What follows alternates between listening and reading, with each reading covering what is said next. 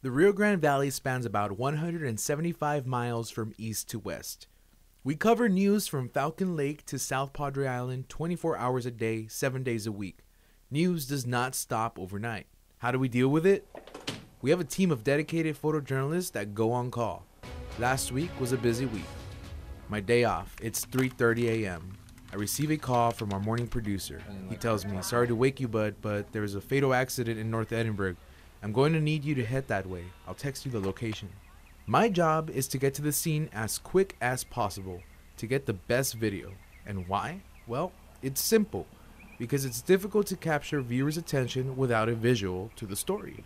I arrived at the scene when the cleanup was happening, and since the road was blocked off, I only got one perspective of the scene. After I recorded my video, I drove to our McAllen bureau and I fed our video to the main station in Weslaco.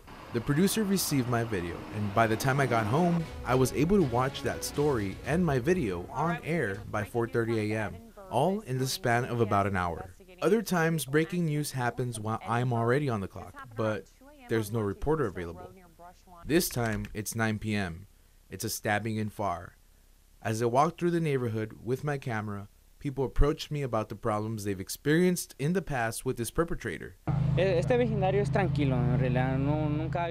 a photojournalist, it's my job to step in as a reporter and conduct a couple of interviews, and in this case, neighbors told us they've had many problems with this man.